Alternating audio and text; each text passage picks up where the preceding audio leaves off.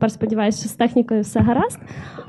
Вітаємо вас на продовженні нашого воркшопу. Цього разу тематикою буде представлення багатокультурного минулого через такий дуже цікавий медіум, як фестивалі.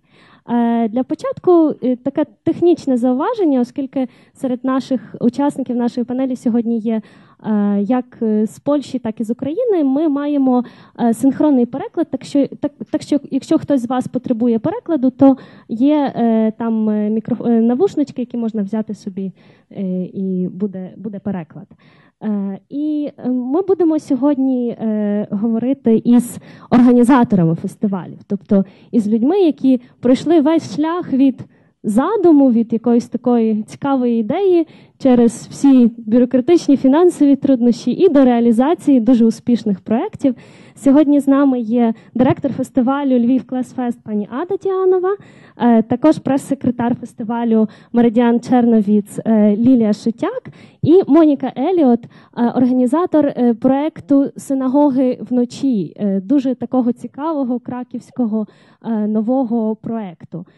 І також ми маємо тут для вас програми цих фестивалів. Якби ви хотіли з ними ознайомитися, то зараз їх вам роздадуть. І е, ми будемо е, на цій панелі рефлексувати про основні основні ідеї, основні цілі фестивалів, про те, як власне багатокультурне минуле інтерпретується на таких фестивалях, з якими основними викликами та труднощами стикаються їх організатори, а також е, який вплив ці фестивалі мають на громадський простір міст. Е, і почнемо ми, звичайно, із такого дуже цікавого львівського фестивалю. Це Львів Клас Фест. Ви знаєте, що він зараз відбувається, і це вже є п'ятий фестиваль.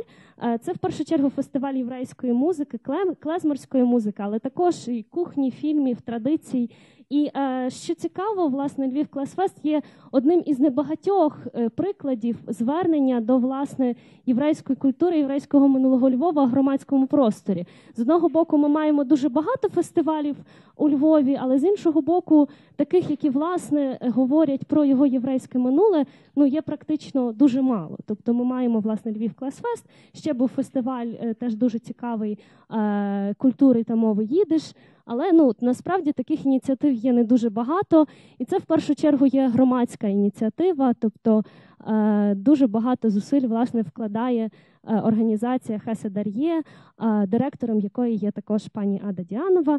Отже, я передаю їй слово. Думаю, вона вам все набагато більше розповість. Добрий день. І Розпочати мені хочеться зі вчорашнього концерту, хто був е, після прекрасного фільму е, і після чудової дискусії відбувся концерт нашого фолькового ансамблю. І, власне, з того мені хочеться розпочати.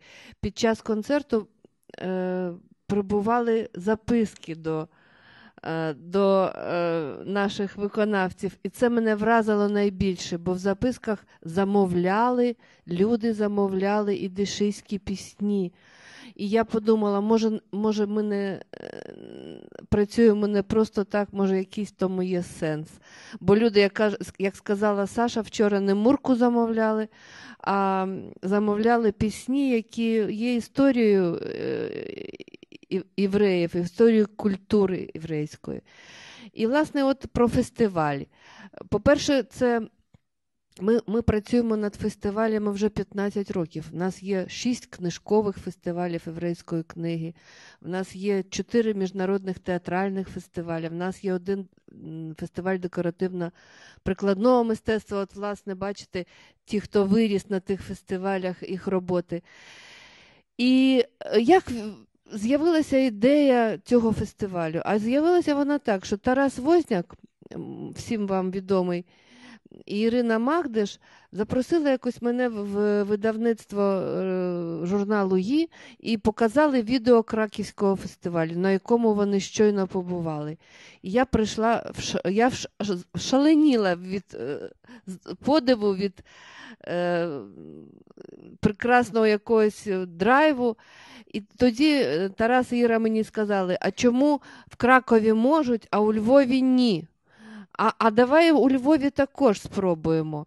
І от перший фестиваль 5 років тому бо нашому фестивалі вже 5 років, відбувся так досить скромненько. Гала-концерт там на площі Арсенальній. Ми дуже невдалий час пору року це зробили е, в, в жовтні. Було якось холодно, але площа була так е, наповнена. Тарас сказав мені: не хвилюйся. Е, Краківський фестиваль розпочався з ще меншої кількості людей, ніж сьогодні було в нас. І от ми простояли, промерзли весь гала-концерт, потім обнялися і і розплакалися всі втрьох, бо це було початком.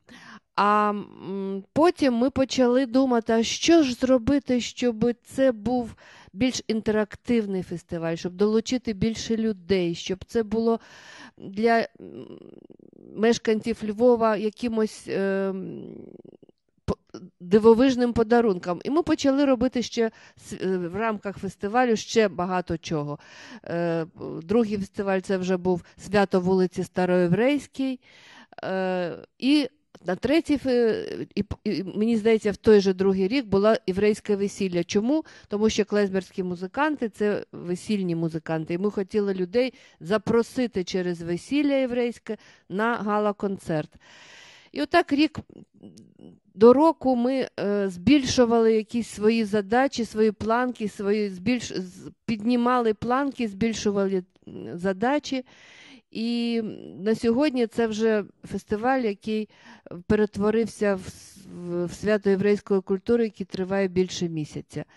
Які в нас цілі були? От де, де, Які люди, особливо журналісти це полюбляють, е, запитують, а для чого ви це робите? я не зразу знайшла відповідь, а відповідь е, для того, щоб показати, що ваша єврейська громада вміє, що вона робить, я кажу, та ні. Ми це робимо для неєврейської громади в першу чергу. Ми це робимо для українців, для росіян, для е, тих гостей міста, які приїжджають. Ми це робимо для міста Львова. Ми хочемо зроб... додати іміджу Львова як іміджу міста цивілізованого, європейського, якому притаманні не тільки якісь там націоналістичні розборки, а толерантність і. Е, і і висока цивілізованість. От для чого ми це робимо. Е, ну, Якщо ви побачите отаку програмку сьогоднішнього фестивалю, то ви побачите, що тут є і вистава Московського театру на Таганці, що тут є е, і е, майстер-класи відомих е, діячів єврейської музики з Молдови кулінарне шоу, багато е, концертів маленьких, відкриття виставки на вулиці Староєврейській, тепер там музей. Е, здається, що він має бути єврейським музеєм. От ми хочемо, е, і ми бачимо, що, що це вдається, що це має сенс на сьогодні. Е, я, Які виклики, я вам скажу. Ні, По-перше, які плюси?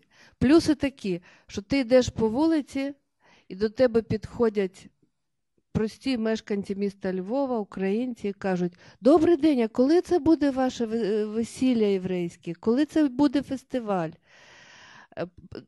Плюс ще такий, що під час минулорічного фестивалю, е, просто під під, під час гала-концерту в, е, в соціальних сітях з'явилася така Е, такий коментар. Люди, всі йдіть, йдіть на площу Арсенальну, там євреї дуже круто бавляться. І це, мені здається, плюси того, що відбувається. Від, Плюс то, що от відкриття концерту, відкриття цього фестивалю філармонії, філармонія була забита так, вона не пам'ятає такого е, такого успіху е, глядацького, щоб е, всі місця були зайняті. Люди танцювали просто в філармонії. Це плюси. Які мінуси? Мінусу, що, на жаль, ми не зацікавили місто наше, місто Львів, цим фестивалем настільки, щоб воно нам допомагало. Що е, цілковито всі фінансові, організаційні і решта проблеми лежать на наших плечах. Ем, і це дуже важко, я вам скажу чесно. Я залучаю, безумовно, посольство Америці до того, вони відгукуються, посольство Ізраїля, посольство Німеччини, вони відгукуються, але місто, на жаль, ні. І е, все, що робиться, це чистої води ентузіазм.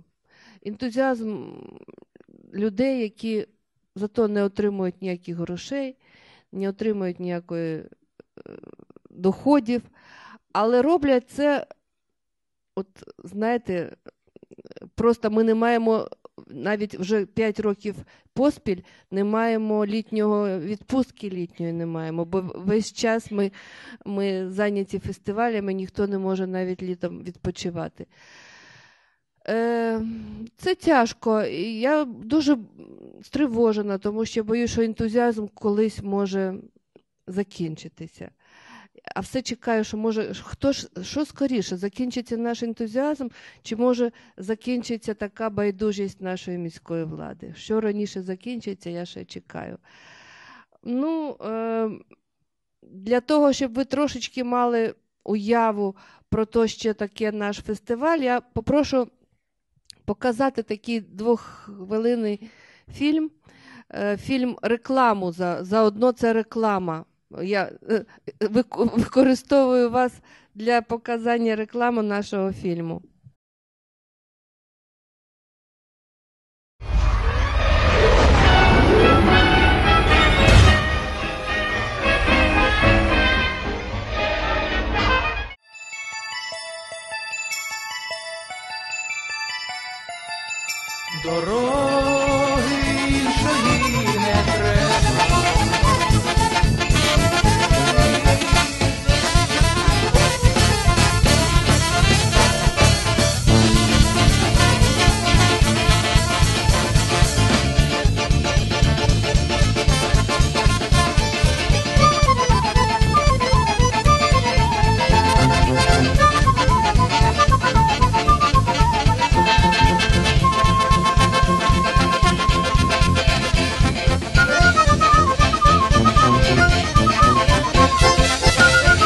Тільки у Львові найбільше єврейське весілля України. Кращі клейзнерські музики світу на одній сцені п'ятого міжнародного фестивалю єврейської музики Львів Клес Фест.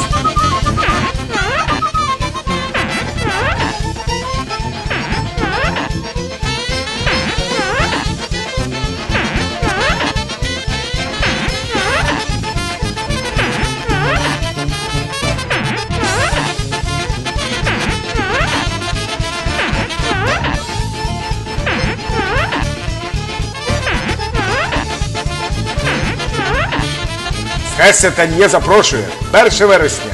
Площа ринок, 12 година. Всі на весілля!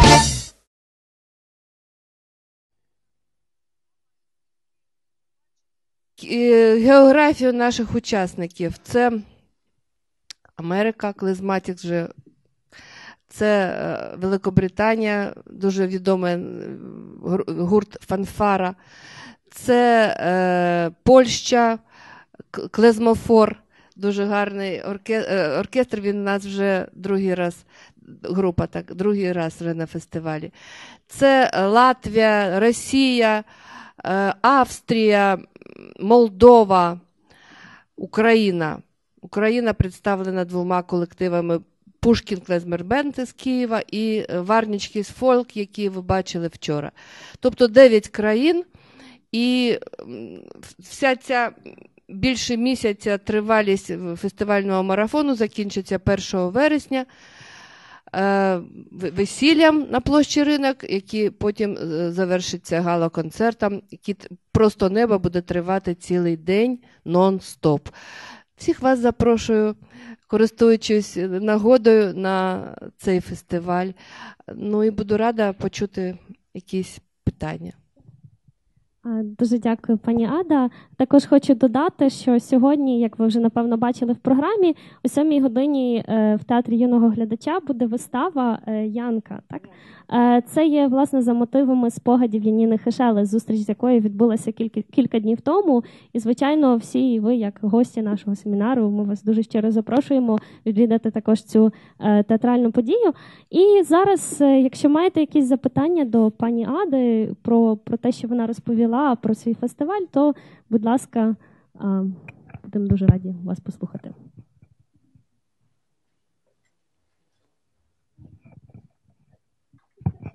Ну, знаєте, в мене так запитання, як просто такий невеликий, може, очерк. Е, Справді складно сказати, бо початок фестивалю, якщо врахувати, що він вже п'ятий, тобто п'ять років поспіль відбувається, це вже серйозна заявка. Бо зазвичай, знаєте, якась творча акція, яка трапилась один раз, її сприймають як випадковість. Е, Другий раз вже так розглядають, ну, закономірність, чекають третього. От, третій вже можна говорити про якусь ем, традиційність, тобто вже якась тяглість того відбувається, і люди вже починають очікувати тої події, запрошувати друзів і знайомих. Напевно, справді, як ви зазначили, найбільша проблема це є фінансування. Фінансування, яке на початку виглядає яким чином? Ентузіаст іде, стукає, як жебрак в кожні двері, на нього дивляться велетенськими очима. Невідомо, чого він хоче, для чого він хоче, нащо йому це потрібно. Ну можна ж піти в літню відпустку, там зайнятися іншими справами. От і в кінцевому результаті є люди, які діляться ну напевно на дві категорії. З одного боку, ніби вони дають згоду, наприклад, на оренду приміщення, але той же час, коли ви в нього приходите, в ньому може бути не- відсутні елементарні речі, наприклад, ті ж самі стільці чи ще щось. І приходиться знову все звалювати на свої плечі. І це багато таких насправді закулісних справ, але вони дуже важливі, бо от є випадки, коли справді гості запрошені, підписані якісь договори, контракти, і в той же час все починає сипатися через якісь дріб'язкові організаційні найдрібніші речі, а всі вони є потрібні. І напевно, коли вже фестиваль робиться традиційним, я це так сприймаю десь вже третього разу, коли він відбувається, потім іде е, от певний, ну якби за механізмом інертність руху, е, коли з'являються інші люди, наприклад, учасники, музиканти молоді, які просто з е, без коштів, без оплати гонорару вже самі хочуть виступити, щоб зарекомендувати себе, прорекламувати. І потім воно набирає ще раз більших і більших е, масштабів. А от стосовно того, чи міський бюджет не виділяє кошти, і можливо дещо байдужий, можливо, варто звернутися до прикладу. Він правда такий успішний комерційний варіант того, що відбулося із країною мрій Олега Скрипки. Власне, спочатку це був теж суто ентузіастичний проект. А на сьогодні міська Київська рада викупила його, і Олег Скрипка там вже на правах персони Донграта. А фестиваль вже офіційно продає квитки від імені міської Київської ради. От так що, можливо, я думаю, вам оптимізму не позичати. Я сподіваюся, що фестиваль далі буде мати хороше і велике майбутнє. Дякую. А як вас звати? Іван, ви попали просто в середовище проблеми, тому що і справді е, ентузіазм може. Ви всі больові точки назвали. Е, і, е, і ми також маємо надію, що колись міська влада зацікавиться нами. Але ви дуже цікаву річ сказали про молодих музикантів, які готові безкоштовно грати. Це моя мрія, справді.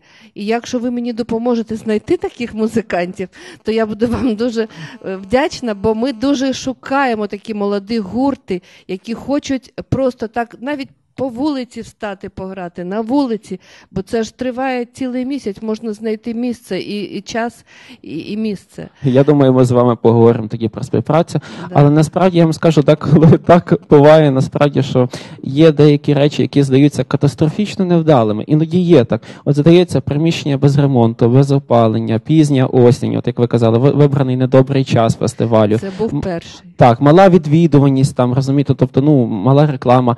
Але в той же час бувають іноді такі моменти, коли от незрозуміло, яким чином от е, щасливі збіги, обставини співпадіння. У нас в Дрогобичі був випадок про центральну велику хоральну синагогу, яка в аварійному стані. І зазвичай вона закрита, бо може обвалитись перекриття фактично. А в той же час, під час е, Шульцівського фестивалю, е, саме це приміщення вподобали собі Лолі Кантер, особистий фотограф Барака Обами, і Бартвомі Міхаловський, відомий художник з Польщі. І традиційно вони там роблять свої виставки і навіть просять, тільки, будь ласка, не прибирайте це будівельне сміття, бо воно дуже добре для антуражу. От, тобто, тобто я думаю, що деякі моменти додають тільки навіть колориту. Е, Пані Ада, мене звати Марічка, я учасниця літньої школи.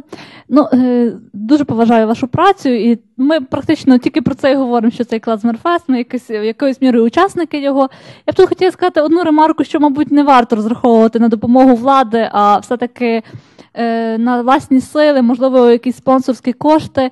І отут в цьому плані в мене було таке питання: коли у вас ця виникла ідея зробити щось таке, як у Кракові, у Львові, бо це ж нічим не гірше місто, чи вас підтримала єврейська громада міста? Чи це було ваше особисте бажання, а може інші постали до цього скептично? Дякую. Марічка, ви знову попали в точку. Е, Марічка, на жаль, так, це була моя ідея, і, е, і на жаль,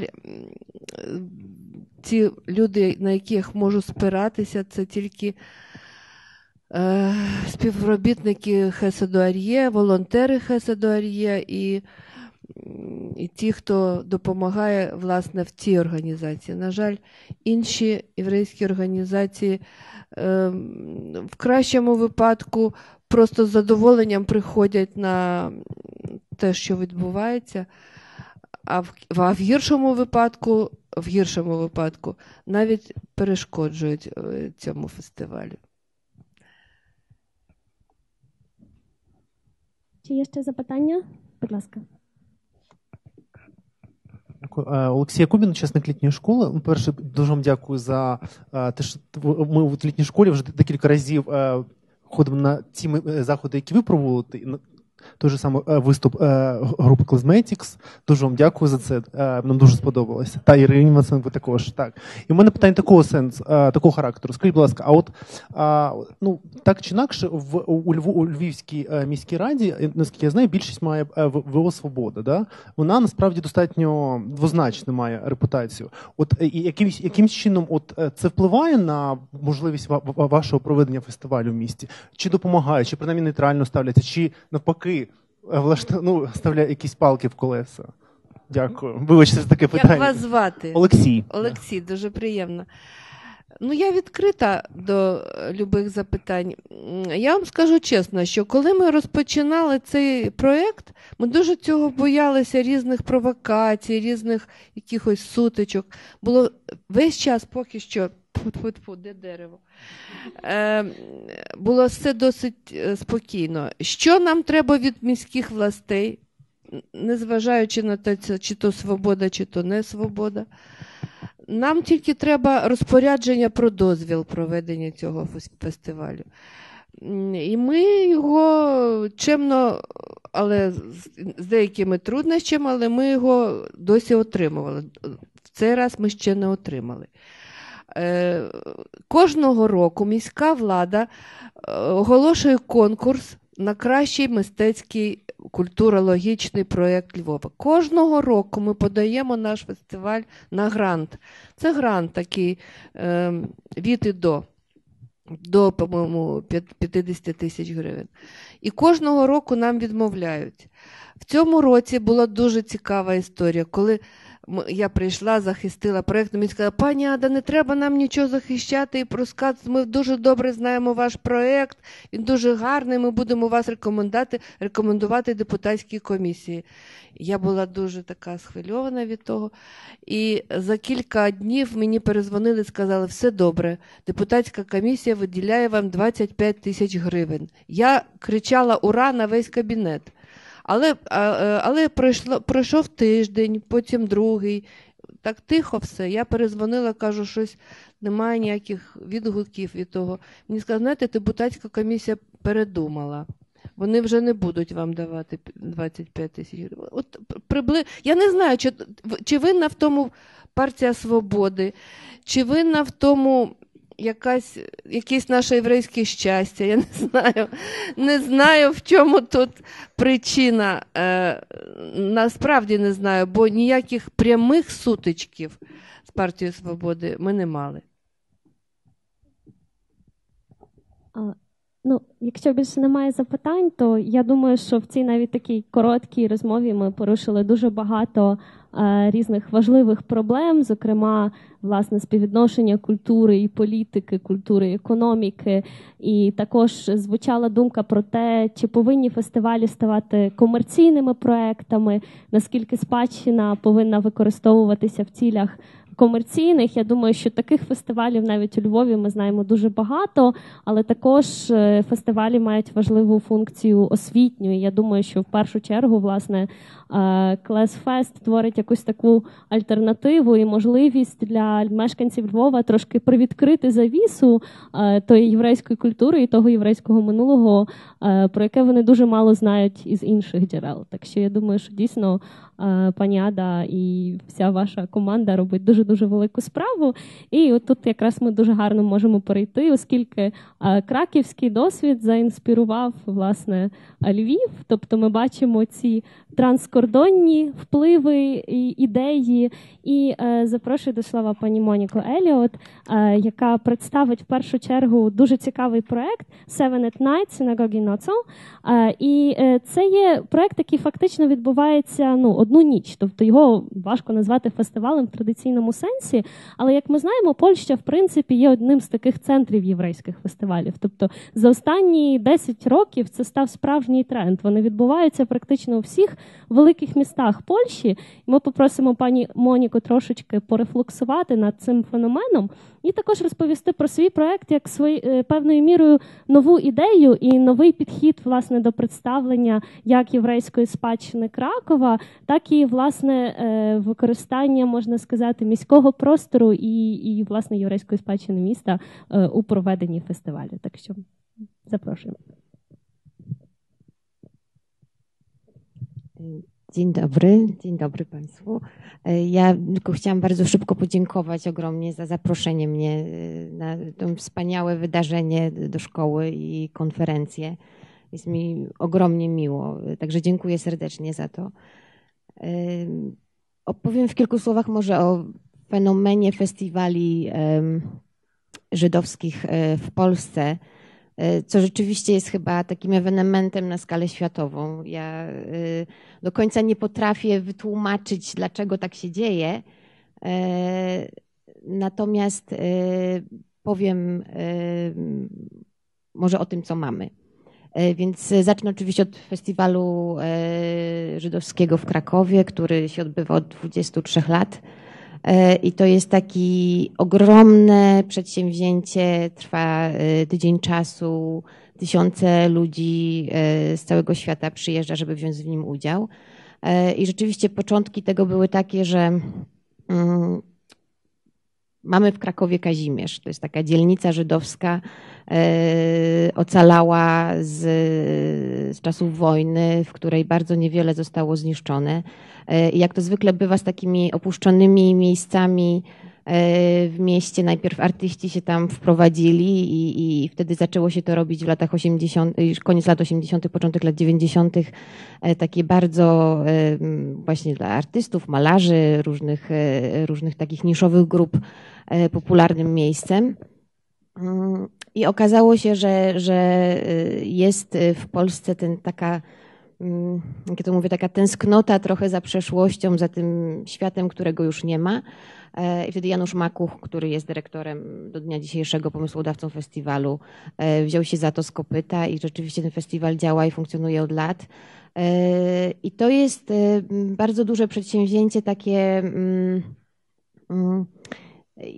jak ja to mówię, na tydzień możemy się przenieść trochę w czasie i widzieć ten Kraków taki, jaki był przed, przed wojną. Czyli rzeczywiście jest bardzo dużo e, klezmerskich koncertów, jest, e, przyjeżdżają grupy z całego świata, jest bardzo dużo e, wykładów, dyskusji, prelekcji, warsztatów kulinarnych, oprowadzań po cmentarzach, po synagodze, po synagogach. I ten fenomen zaczęty w Krakowie mm, powoli przenosił się y, do innych miast. Y, W Warszawie Festiwal Kultury Żydowskiej, Festiwal Zingera, który w tym roku będzie po raz dziesiąty się odbywa. Y, Fundacja Shalom organizuje to również pełną parą, który w treści swojej jest y, bardzo podobny. To znaczy znowu y, grupy klezmerskie, znowu ta kultura jidysz, y, teatr żydowski, przedstawienia teatralne, filmy, wystawy i tym podobne. Ale również Wrocław, kolejny festiwal Simcha, który, który się odbywa co roku. Natomiast są też miasta, w których tak naprawdę właściwie nie ma już społeczności żydowskiej, natomiast żydowskie festiwale się odbywają. I to jest taki fenomen y, dla mnie był zawsze trochę niepojęty, bo ja od, od, y, y, sama związana ze społecznością żydowską od, od, od, od, od zawsze. Y, Nie, nie bardzo mogłam zrozumieć, y, dlaczego akurat ta kultura tak pasjonuje nie Żydów, tak? No bo wiadomo, że Żydzi, no to tak było kiedyś, to fajnie sobie przypomnieć i, i, i jak to nasi dziadkowie, pradziadkowie żyli. Natomiast dlaczego w Polsce jest taki fenomen, taka tęsknota i taki ogromny filosemityzm e, za tym, mm, czego już nie ma? Nie wiem, nie, nie jestem w stanie odpowiedzieć na to pytanie. Natomiast muszę wspomnieć o festiwalu w Białymstoku, który się odbywa. E, Zupełnie nowy festiwal e, w październiku zaraz będzie w Gdańsku. Mm, Również Festiwal Kultury Żydowskiej. E, Są festiwale filmów o tematyce żydowskiej, przynajmniej dwa duże w Polsce i wiele innych pomniejszych inicjatyw. Także tak naprawdę w każdym mieście, czy to Lublin, czy, czy jak mówiłam, Białystok, czy, czy inne mniejsze miasta, coś żydowskiego się dzieje. Zostawiam pytanie, dlaczego tak jest na inną debatę, bo myślę, że tutaj socjolodzy by się mogli, i tutaj Ania pewnie e, by mogła dużo więcej na ten temat powiedzieć. E, Natomiast ja chciałam opowiedzieć o takim projekcie, e, który sobie wymyśliłam parę lat temu i szczęśliwie mogłam go zrealizować. Tym roku odbyła się trzecia edycja festiwalu, e, który się nazywa Seven at Night, e, Synagogi nocą. E, I to jest. Nie wiem sama, jak to tak powiedzieć w dwóch słowach, co to jest. Może opowiem mm, od początku, jak to było. Pomysł jest bardzo prosty. Pomysł jest taki, że w Krakowie mamy siedem synagog, które mają, które są zachowane sprzed wielu, wielu, wielu stuleci. E, Cztery z nich wciąż służą do celi rytualnych, tak naprawdę jedna na potrzeby społeczności żydowskiej e, każdego dnia, natomiast e, dla grup, które odwiedzają, dla, dla, e, w czterech synagogach jest Tora, może tak w ten sposób, więc, więc e, one, one jakoś tam służą celom e, religijnym. E, Natomiast w pozostałych trzech są e, to centra kultury albo muzea. muzea. E, Dla mnie zawsze synagoga, tak jak ja ją znam z domu i, i, i- i, z pracy, to jest miejsce, to nie jest miejsce kultu tylko. Tak? Synagoga to jest miejsce spotkania, to jest miejsce, w którym społeczność żydowska, taki punkt zbiorny trochę. Nie, nie trzeba być, y, dla mnie nigdy nie byłam religijna, więc nie trzeba być religijnym, żeby do tej synagogi przychodzić. To jest taki, taki mm, moment celebracji życia żydowskiego. E, I em, przez, ten, przez to wydarzenie, które, które organizujemy przez Seven at Night, e, troszeczkę chcemy o tym przypomnieć, że w synagodze można śpiewać, można się modlić, można jeść, można tańczyć. E, Nie trzeba być zestresowanym, nie trzeba, można chodzić tam i z powrotem. Zresztą jak się odwiedzi e, jakiekolwiek nabożeństwo e, w synagodze, można zobaczyć, że, że rzeczywiście wygląda to jak jakiś taki no jest bałagan troszeczkę. e, Wszyscy rozmawiają, chodzą e, tam i we w te. E, Seven at Night jest inicjatywą z poszanowaniem dla tradycji. To jest troszeczkę też tak, że to jest taki program, który się dzieje w okolicy e, święta Szawłot. To jest takie święto, które, w którym tradycja nakazuje studiowanie, e, całonocne studiowanie. Więc to się trochę z tego urodziło, że e, postanowiliśmy otworzyć siedem synagog na jedną noc e, w Krakowie dla publiczności. E, Wstęp jest wolny na wszystkie mm, programy. E, Nie trzeba, e, nie ma żadnych biletów sprzedawanych. Program się rozpoczyna uroczystą hawdalą, czyli zakończeniem szabatu. E, Rabin z dachu e, Centrum Społeczności Żydowskiej e, prowadzi tą hawdalę dla miasta. Trąbki grają, bębny bębnią i wszyscy w Krakowie wiedzą, że szabat się skończył. I wtedy otwieramy wszystkie synagogi, czyli to się dzieje w, na początku czerwca, w zależności od tego, kiedy to święto Szawłot, tam, żeby jak najbliżej e, tej daty się e, to wydarzyło, e, więc tak naprawdę ten program się zaczyna grubo po 22. Em, No i rzeczywiście przez tą jedną noc te wszystkie synagogi są otwarte. I mm, ten program, który się dzieje, w każdej synagodze dzieje się inny program. E, I jakkolwiek ludzie dostają mapę i, i, i, program wydarzenia, jakkolwiek oni będą chcieli sobie do którejś synagogi e, dojść, e, nie ma znaczenia. Dla mnie bardzo ważne jest to, oprócz, oprócz mm, samego otwarcia synagog, żeby w każdej był jakiś motyw edukacyjny. To znaczy, my chcemy o tych synagogach edukować. To znaczy, zawsze jest jakiś motyw przewodni e, ważny dla e, judaizmu, albo taki, o którym chcemy opowiedzieć. E, I edukujemy tak naprawdę o życiu żydowskim w Polsce, które się dzieje teraz. To znaczy, w tym programie nie ma, e, jest poszanowanie dla tradycji, natomiast nie ma e, zespołów klezmerskich, nie ma e, opowiadania o Holokauście, nie ma e, tego, czym zajmuje się e, Festiwal Kultury Żydowskiej. E, Natomiast my się skupiamy na życiu żydowskim dzisiaj. Promujemy młodych artystów pochodzenia żydowskiego, którym oddajemy synagogi i mówimy: zróbcie coś tam. E, I to wszystko jest skierowane tak naprawdę do młodych ludzi. Rzeczywiście, jak popatrzymy na statystyki e, i na to, kto odwiedza synagogi przez tą jedną noc w Krakowie, to rzeczywiście jest to, większość to są studenci. Nie wiem, czy to jest noc, dlatego że oni nie śpią wtedy i to jest sobota. E, Natomiast e, pewnie jest też dużo więcej rzeczy ciekawych do roboty e, dla takich młodych ludzi. Jednak rzeczywiście kolejki stoją do synagog i między 7 a 9 tysięcy odwiedzających uczestników tego programu się przewija przez, przez synagogi w czasie jednej nocy.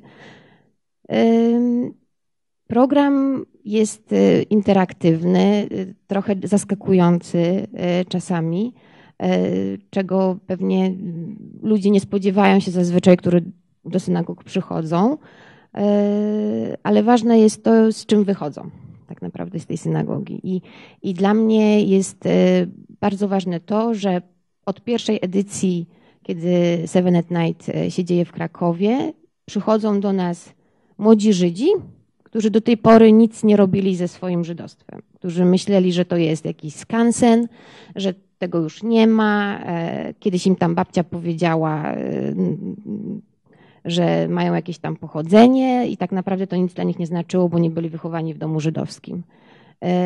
Więc to jest dla nich taki też trochę punkt zaczepienia, że, że y, synagoga, nie trzeba się tego bać, tak? Nie trzeba się tego bać. Można przyjść, można poznać, można się nauczyć. E, Może powiem tak króciutko o, o programie jeszcze, który tam się odbywa. E, Co roku jest program inny, co roku jest inny temat przewodni. W tym roku tematem przewodnim była Jerozolima. Jak zobaczymy na plakat, który był przy tegorocznej edycji, można się bardzo zdziwić pewnie i, i dlaczego akurat to jest symbol Jerozolimy, dlaczego tutaj nie ma ściany płaczu albo kota chociażby, taki to już kot to już jest taki bardzo, że tak powiem, nowoczesny symbol.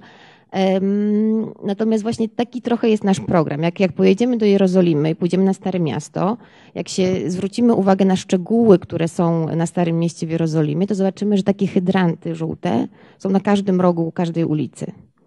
E, I tak naprawdę nikt, o tym, nikt tego nie zauważa. To jest trochę jak, jak e, przechodzenie koło e, starych budynków i nagle się po 10 latach przechodzenia tą samą drogą orientujemy się, że tam jest jakiś taki mały szczegół architektoniczny, na który nigdy nie zwracaliśmy uwagi. Więc ten program jest trochę taki, że wybieramy z tego ogromnego wachlarza judaizmu i przekazujemy pewne wartości i pewne pomysły, na które może nie zwrócilibyśmy uwagi nigdy wcześniej. Takie jest moje tłumaczenie tego, tego, e, tego pomysłu. A przy okazji on bardzo zwracał uwagę, tam była ogromna, możecie sobie Państwo wyobrazić, burza e, medialno-publiczna na temat tego plakatu, bo, bo mm, miał swoich wielkich zwolenników i wielkich e, e, przeciwników, natomiast też jest ruch, który powstał malowania hydrantów na żółto w Krakowie, więc mam nadzieję, że to się nie skończy karną, sądową sprawą dla nas e, w żaden sposób. Natomiast oprócz, więc ta Jerozolima w tym roku e, była pokazana też w taki sposób bardzo e, zmysłowy, e, bardzo, żeby ją poczuć nie tylko zobaczyć, tak jak jest w przewodniku turystycznym. Więc myśmy e, na przykład wzięli wiersze mm, o Jerozolimie, których jest bardzo dużo, nieznanych zupełnie w Polsce hebrajskich e, poetów. E, One zostały przetłumaczone i były czytane przez krakowskich poetów. Przez Ewą Lipską, przez Grzesia Turnała, przez Bronisława Maja, e, przez Wojtka Bonowicza. To wszystko zostało zmiksowane z dźwiękami z miasta, z, z zapachami z miasta, więc idąc do synagogi starej w tym roku można było nie tylko usłyszeć, e, jak się dzieci śmieją na ulicach w Jerozolimie, a również poczuć zapach e, fizycznie zupełnie, tak? Czyli tam w powietrzu unosił się zapach zataru, zapach mirry i tego wszystkiego, co tam można poczuć. Jedną z takich moich ulubionych synagog w tym roku to była synagoga Remu, malutka synagoga e, na ulicy Szerokiej, gdzie e, zrobiliśmy bardzo prostą wystawę, która e, Jerozolima jest w różnych świętych księgach nazwana na 70 różnych sposobów. I to nie jest takie oczywiste dla wszystkich. Można powiedzieć Ziemia Święta, Jerozolima, Jerusalem, natomiast to, że Jerozolima jest nazwana ciężkim kamieniem na przykład, y, to nie jest już takie oczywiste, więc zrobiliśmy wystawę z tych 70 nazw y, Jerozolimy, y, gdzie każdy musiał przejść między tabliczkami, które wirowały im wokół głów, podwracać je, dotknąć. Więc tam jest też dużo takiej interaktywności w tym programie. Ale z takich poprzednich lat to taki mieliśmy w synagodze starej DJ-a, który grał na bimie w synagodze i to był taki akompaniament do wystawy o dawnych e, synagogach krakowskich. I również taka wystawa o synagogach krakowskich to nie była zwykła wystawa, której były pokazane zdjęcia. To była wystawa, część była trochę z puzli, które ludzie musieli poukładać, część była z miejsc zaznaczonych na interaktywnej mapie, gdzie te synagogi kiedyś stały i przechodząc teraz ulicą koło na przykład e, fryzjera, do którego chodzę, albo na lody, które chodzę, okazywało się, że tam stała synagoga, czy w tym budynku była synagoga. E, I to też jest takie uświadamianie ludziom miasta i, jego historii. E, Jest koncert, co roku jest koncert i koncert jest e, też, to nie jest koncert klezmerski, to jest zazwyczaj koncert rockowy. E, mm, Rzeczywiście po raz pierwszy w synagodze, e, przynajmniej w Krakowie, e, tego typu koncerty się zaczęły odbywać. Szyby w synagodze drżały. Ja byłam strasznie zestresowana, że, że, żeby tam nic nie, się nie zawaliło, bo rzeczywiście te, te mm, głośność tego jest, jest ogromna. Natomiast w tym roku był zespół hip-hopowy z Jerozolimy. Chłopcy są bardzo religijni, z Jesziwy. E, Wszyscy są ubrani tak jak wyszli na scenę, to pewnie wszyscy myśleli, że zaraz tu wyjmą skrzypce i zaczną grać na skrzypcach.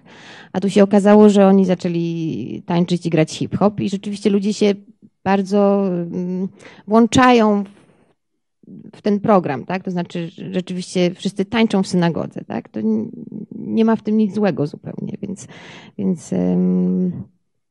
są zawsze, zawsze organizujemy również warsztaty jakieś takie manualne.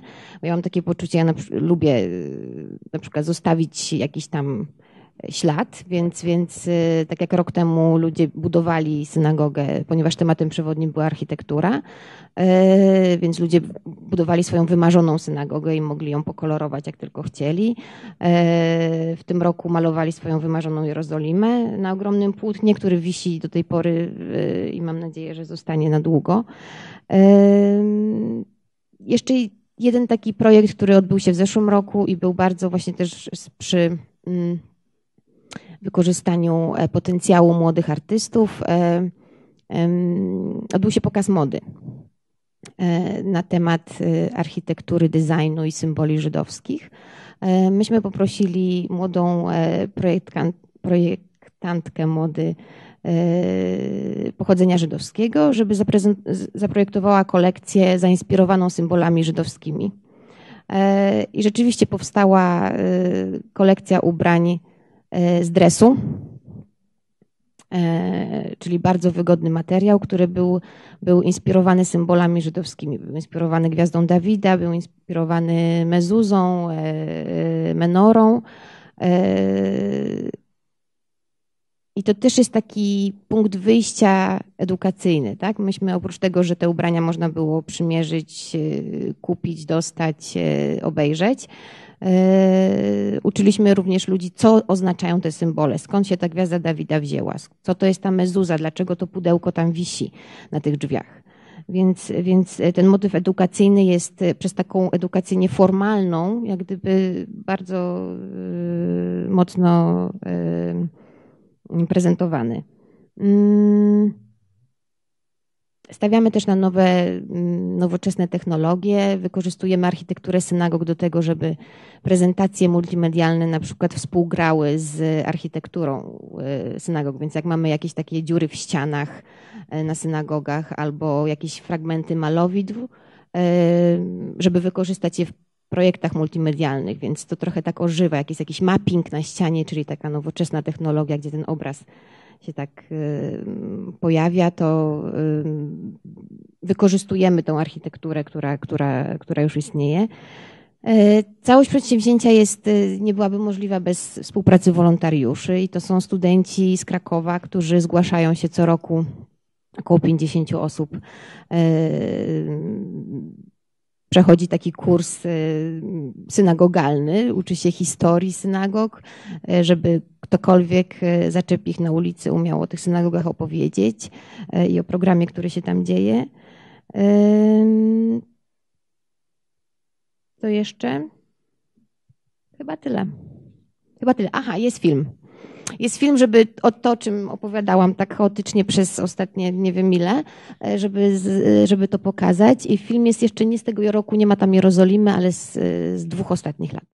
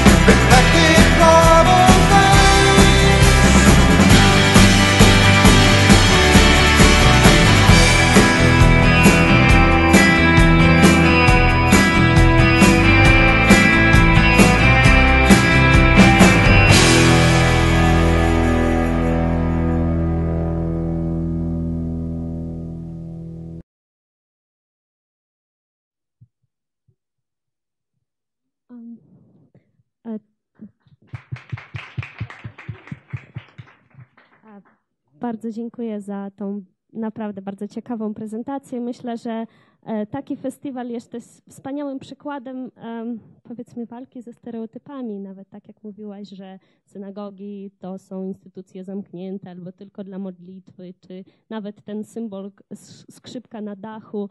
Staracie się pokazać e, taką tą różnorodność i trochę walczyć z tymi stereotypami. Ale ponieważ to jest projekt bardzo taki śmiały, e, to mam pierwsze takie naturalne pytanie.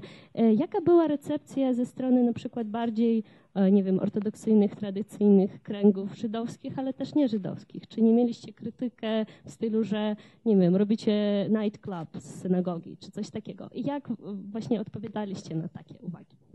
Więc y, ja muszę powiedzieć, że ten projekt y, jest organizowany przez y, Fundację Joint, dla Jo- Joint, której ja pracuję. Y, Natomiast nie byłoby tego projektu bez y, gminy wyznaniowej żydowskiej w Krakowie, która jest właścicielem wszystkich synagog. Mm, Prezesem gminy jest Tadeusz Jakubowicz. ro- Rodzina Jakubowiczów prowadzi gminę od, od, od pokoleń właściwie. E, I, I to jest, e, to nie było tak, że ja sobie wymyśliłam, dorobiłam klucze i otworzyłam synagogę i tutaj proszę. E, Tylko e, ja przyszłam z tym projektem właśnie do gminy żydowskiej, tak, żeby to pokazać, zapytać się, czy wolno. E, I muszę powiedzieć, e, że nigdy nie było słowa sprzeciwu. Do tego stopnia, że bardzo konserwatywna gmina, bardzo ciężko zostać jej członkiem. Trzeba być zameldowanym w Krakowie, żeby się zapisać do tej gminy, nawet mając y, papiery na pochodzenie żydowskie od, od, od pokoleń. E, Tutaj nagle mm, e, otwiera te synagogi i, i, i e, no robi programy, które, które, które nie są takie oczywiste i, i, i nie są takie y, tradycyjne, bo oni do tej pory mają praktykę w otwieraniu synagogi na koncerty, które się dzieją w czasie festiwalu żydowskiego, natomiast y, nie na tego typu y, imprezę tak naprawdę. Mało tego, jedna z synagog, synagoga Izaaka w Krakowie, która jest prowadzona przez Chabad, Pewnie, nie wiem, czy Państwo wiecie, to jest ultra, ultra ortodoksyjna e, grupa e, żydowska. Jest tam e, rabin Habadu. Oni również jak gdyby od razu się na ten pomysł zgodzili. Ten projekt, chociaż wygląda na bardzo zakręcony, zwariowany i jest nowoczesny i tak dalej, natomiast tam nie ma nic, co by łamało jakąkolwiek zasadę judaizmu. E, Program zaczyna się po szabacie, e, żeby nagłośnić synagogi na koncert czy na jakąkolwiek prezentację. My za wszystko płacimy dodatkowy dzień, żeby zrobić to przed szabatem. Cały sprzęt stoi bezczynnie przez dwa dni tak naprawdę. E, I wszystko, cokolwiek się dzieje, jest w poszanowaniu dla tradycji. Tak? Czyli my nie, nikogo. To też jest takie pokazanie, że judaizm tak naprawdę żyje, tak? Że, że to nie jest. e, Że to nie jest jakiś, jakiś, jakiś tutaj wymysł, e, prawda, młodzieży, która się dorwała do miejsca, tylko, tylko e, jest tam też ten duży walor edukacyjny i, i były jakieś sprzeciwy sąsiadów z kamienic, którzy mieszkają w okolicy, gdzie, gdzie rzeczywiście koncert, chociaż jest w środku i nie potrzeba zgody na miasta na, na świeżym powietrzu, jak to tam y, zwykle bywa. To, natomiast oczywiście po 22 jest cisza nocna wszędzie, więc, więc a te decybele dochodzą poza synagogi, więc, więc jest kilku sąsiadów, którzy zawsze dzwonią, ale oni zawsze dzwonią, więc, więc y, jak gdyby potem się ich, do nich przychodzi, się ich przeprasza i, i na tym się to właściwie kończy. Em, Współpracujemy z, z policją, e, ze Strażą Miejską, którzy, którzy i to, to wszystko jest znowu inicjatywa gminy żydowskiej, tak? Ja sama nigdy nie poszłam do policji i nie poprosiłam ich o wsparcie. Tutaj gmina żydowska się zajmuje tym od początku do końca. E, Policja, nie ma ochrony jako takiej. Przy, jak, to jest trochę Tutaj e, oczywiście, jak patrzymy na to, co się dzieje na świecie, to, to, to jest to trochę e, może przerażające, że rzeczywiście nie ma tych wszystkich, e, jak na lotnisku, sprawdzania toreb, e, kto z czym wchodzi do synagog. Policja jest po cywilu, gdzieś tam się kręci, także ja nawet nie wiem, gdzie oni są. Natomiast to też jest taki, taki no troszeczkę taki, mm, takie zaufanie z naszej strony co do, co do reszty. Natomiast nigdy, nigdy ze strony organizacji żydowskich przynajmniej nigdy nie, nie, nie, nie było żadnego problemu. Добре, тоді я передаю власне слово аудиторії. Якщо маєте якісь запитання до пані Моніки, то будь ласка.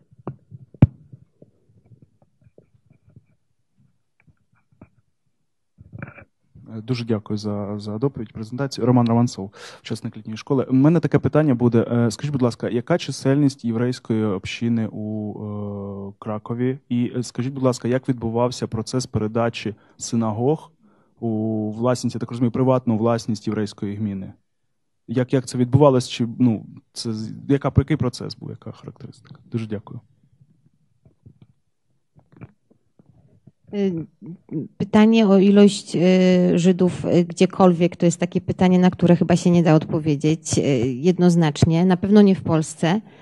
Y, Oficjalnie y, lista członków gminy wyznaniowej żydowskiej y, w Krakowie obiewa, opiewa na jakieś 150 osób. Ale jak mówiłam, żeby zostać członkiem gminy wyznaniowej żydowskiej w Krakowie, to jest droga nie do przejścia. Yy, Jest JCC w Krakowie, które działa od ostatnich pięciu lat i lista członków JCC jest około 800. Yy, Ale tam nie trzeba być zameldowanym, można być studentem. Yy, I, ale jest też mnóstwo osób, które są nie zapisane nigdzie, tak? Albo które się nie utożsamiają z życiem żydowskim, e, czy z byciem Żydem, a to pochodzenie mają. Więc tak naprawdę my nie wiemy, ale tak jest w każdym mieście e, w Polsce. E, Szacuje się, że w Polsce około jest, to są statystyki naczelnego rabina Szudricha, około 30 tysięcy Żydów. I może mieć rację, bo robiąc programy różne inne w, w ciągu roku, i to jest jedyny program, który, który robimy, który jest otwarty dla publiczności również nieżydowskiej, ale ja głównie robię programy dla społeczności żydowskiej w Polsce. To rzeczywiście, mm, patrząc na ilość dzieci, które jeżdżą na kolonie żydowskie i które, y, mnożąc to razy dwa przynajmniej, bo rodzice, czy razy trzy, to, to, to mm, i ró- również, również inne programy, to, to rzeczywiście ta liczba jest dużo większa niż oficjalne źródła wskazują. E, Natomiast jeżeli chodzi o synagogi e, i ich własność, one są w Krakowie, siedem synagog, one są własnością gminy wyznaniowej żydowskiej. Tam nie ma prywatnych. E, W 1997 roku w Polsce było prawo mm, mm, oddawania społeczności żydowskiej między innymi własności publicznej, czyli, czyli zostały zwrócone synagogi, zostały zwrócone szkoły, szpital, budynki szpitali e, i to przez ostatnie 15 lat e, się wydarzyło. Tak? Oczywiście są e, miejsca, w Polsce jest około 350 synagog, e, które stoją budynków e, i część z nich są, to jest prywatna e, własność. Natomiast z tego co wiem, na pewno nie te siedem w Krakowie i jak w jakiejś bramie krakowskiej jest jakaś synagoga, to tam jest jeszcze chyba jakiś sporny, mm, sporna sprawa w sprawie własności. Може, може, я ще. Я перше, можливо, такий коментар. Я перший раз побачила цей, цей ролик і е, познайомилася не особисто, але була на цій презентації в, в Кракові на конференції Managing Jewish е, Heritage. І, і, і мене це вразило цей формат, абсолютно новий. Ем, і про те, що говорила Аня дуже добре про те, що цей, цей проект е, якби руйнує певні стереотипи. Е, і е, ну, про те, що євреї тільки моляться. Та? Ми знаємо, що вони тільки, тільки моляться, та? вони не тільки моляться. А з другої сторони, це та річ, що дуже часто, напевно, е, ті противники е, фестивалю, е, який Ада провадить, говорять, що не можна використовувати місце, на якій була велика синагога і Бет-Мідраш, для бо там не можна танцювати, там не можна нічого робити, і це від незнання. Та? І хто не знає, і хто це асоціює з церквою чи з костелом, де це дійсно святиня, та? і кажуть, ну напевно, ні. Та? І це, це приводить до певних маніпуляцій. Та? Тому, перше, це таке руйнування стереотипів, друге. Е, Напевно, це знайомство з сучасною ізраїльською культурою, який йде через, через цей, цей проект, і це такий якби мостик між минулим і, і, і сучасністю. І третє, що мені особливо е, сподобалося, ця ідея, як ви використовуєте, як, як ви включаєте єврейську спадщину в сучасний простір міста. Е, Це такий новий формат, та, тому що Польща далеко попереду по відношенню е, з, з Україною в ревіталізації єврейської спадщини. Але це зберегти, відновити це дуже важливо. Але інша дуже важлива річ, щоб та спадщина якби продовжувала жити, вона має бути включена в сучасний простір міста. І як на мене, це є дуже гарний приклад того, як можна включати цю спадщину, не робити черговий традиційний музей, а як можна її включати і через неї передавати, ну, давати якийсь, якийсь меседж. Про цю культуру, про цю спільноту, яка жила. В мене два таких питання до, до вас. Ем, Перше, ви війшли з цим проектом, доволі, я би сказала, амбітним проектом, е, в місто, яке славиться своїми фестивалями дуже високого рівня, різними перформансами, і це доволі високий рівень. І там відбувається кожен року єврейський фестиваль, який вже набув. Ну він вважається добрим, та тобто він має певний певні стандарти. Е, Як, як, як ось з цим чи не було страшно входити на, в, на цей ринок фестивальний з, з, новим, е, з, новим, е, з новим проектом? А друге питання. е, В мене з приводу колективу, який над, цей працю, над цим працює, і питання наскільки Польща зараз моноетнічна держава, так зрештою, як і Україна в більшості. Наскільки не єврейська община, не люди, які не мають жодного відношення до, е, до євреїв, до єврейського минулого, наскільки вони включені в ці процеси, ем, які нам ну, дають нову інтерпретацію і нове, е, нове життя єврейської культури, яка була до, до війни. Як це виглядає в, в Польщі на прикладі фестивалів?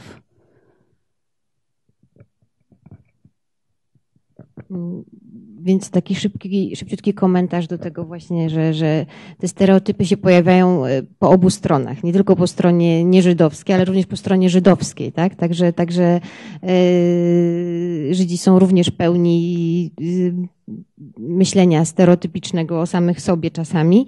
E, I tutaj właśnie jest ten, ten to, to, to wszystko też zależy od dobrej woli tak naprawdę i od tego, żeby się nie bać, e, nie bać e, nowych rzeczy. E, Jeżeli chodzi o, o mm, pierwsze pytanie, to rzeczywiście to było trochę tak. Ten e, festiwal się urodził e, w mojej głowie. Nie wiem, czy jest w Lwowie, e, ale w większości miast europejskich jest taka noc muzeów. Jest, jest. Więc ja kiedyś stałam w takiej kolejce do jednego z warszawskich muzeów e, i sobie pomyślałam, że jakby było fajnie tak, żeby takie kolejki stały przed synagogami. I teraz trzeba by tylko znaleźć miejsce, gdzie są te synagogi. No i są w Krakowie, no i wtedy to tak trochę się tak to było. E, No i oczywiście w Krakowie jest festiwal, który ma taki monopol właściwie mm, regionalny na wszystko żydowskie, kulturalne, co się dzieje. Mm, Ja nie konsultowałam tego pomysłu z nikim z festiwalu, e, tylko z gminą żydowską, która jest tutaj e, właścicielem synagog. I po pierwszej edycji mm, festiwalu, kiedy się zrobiło takie duże też dosyć zamieszanie medialne w tej sprawie, to jakoś tak się rozgłośniło. E, Bardzo było duże zainteresowanie ze strony takiej e, właśnie gazet, telewizji i tak dalej. E, Ja dostałam telefon od dyrektora festiwalu po pierwszej edycji, który, który, który powiedział, że rzeczywiście nas tak obserwowali i nie wiedzieli, co to będzie. Nie wiedzieli zupełnie, co to będzie i, i, i rzeczywiście bardzo się cieszą i gratulują sukcesu. I już w drugiej edycji zgłosili się do nas, że chcą współuczestniczyć. Tak? Czyli jak gdyby tam jest przy festiwalu e, jest Header Cafe, które, które te festiwalowe jakieś tam aktywności i programy realizuje w ciągu roku również.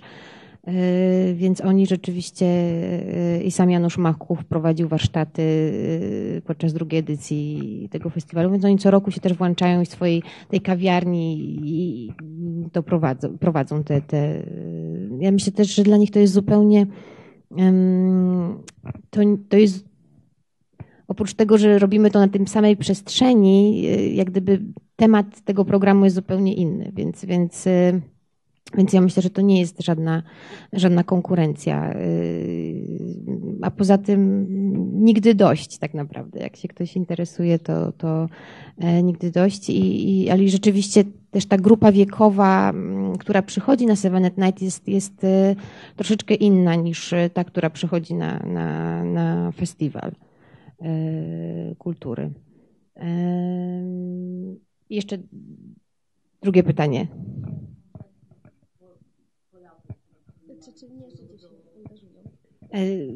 Właśnie to jest kolejny tutaj, to o czym mówiłam na początku, że ja nie wiem dlaczego tak się dzieje do końca, że, że, że Polacy tak bardzo się angażują we wszystko, co jest żydowskie.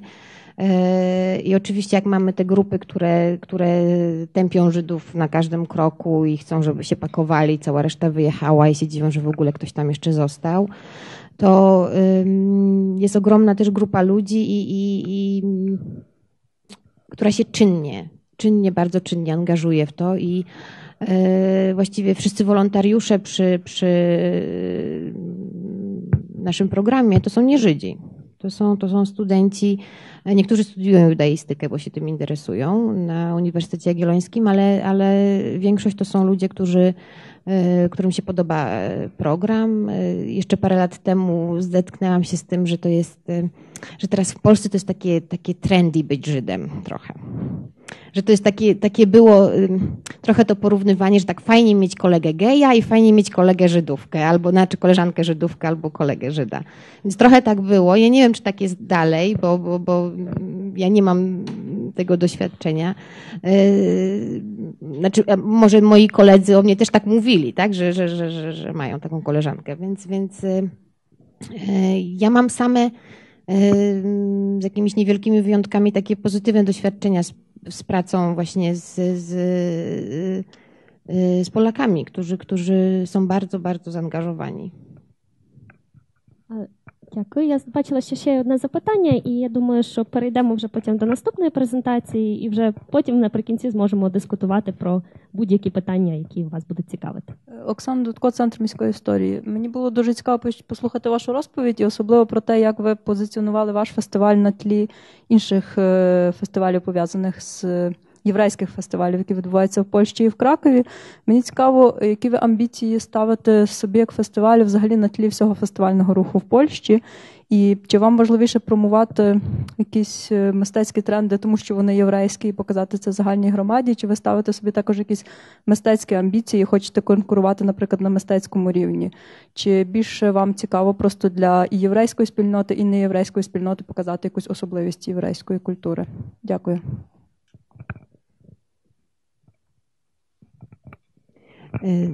Więc y, na pewno nie chcemy konkurować. Y, Na pewno y, tutaj y, y, nie ma żadnej konkurencji. Ja jestem y, od początku przekonana, że im więcej, tym lepiej, bo każdy może sobie coś wybrać. i Im więcej pozytywnych żydowskich rzeczy się dzieje, tym, tym mniej y, jest potem niewiedzy na ten temat i mniej y, antysemityzmu siłą rzeczy gdzieś tam.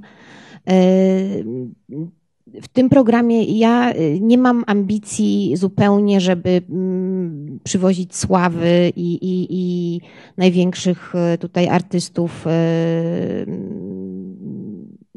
na scenie żydowskiej, czy to współczesnej, czy, czy, czy, czy innej. Natomiast ten program jest trochę taką promocją młodych artystów też. To znaczy, to są na przykład zespół, który był na pierwszej edycji Kepet i to tacy chłopcy, którzy w życiu nie grali za granicą, poza Izraelem, zresztą im jest też bardzo trudno stamtąd się wybić i, i, i byli przed nagraniem swojej pierwszej płyty tak naprawdę i myśmy tak trochę zaryzykowali przywożąc ich na ten festiwal. Natomiast się okazało, że to był ogromny sukces, tak? I polska publiczność zwariowała na ich punkcie zupełnie. E, natomiast e, to też jest trochę tak, że mm, wszystkie elementy, które się dzieją, y, one jakoś tak się łączą w tym takim modelu edukacyjnym, który chcemy przekazać. Czyli jak na przykład ten zespół hip-hopowy z Jerozolimy, to też nie był zespół jakiś z najwyższej półki, e, bo też nie mamy na to funduszy tak naprawdę. Zresztą ja bym sobie potem pluła w brodę, prawda, że, że wydałam tyle na zespół, a nie na coś innego. E, więc, więc to są, e, to też był taki próba pokazania, że można jedno i drugie, że można y, słuchać i grać hip-hop y, i, i, pokazać, że to im w duszy gra, a tak naprawdę oni siedzą i codziennie studiują w tej jeszywie po 10 godzin dziennie, tak? Więc, więc y, to jest też takie pokazanie tej, tej, tego drugiego oblicza judaizmu. I mieliśmy rok temu wystawę Mezus Majka Herzberga, który jest w Polsce muzykiem rockowym i punk rockowym tak naprawdę, ale też dłubie sobie w swojej pracowni mezuzy.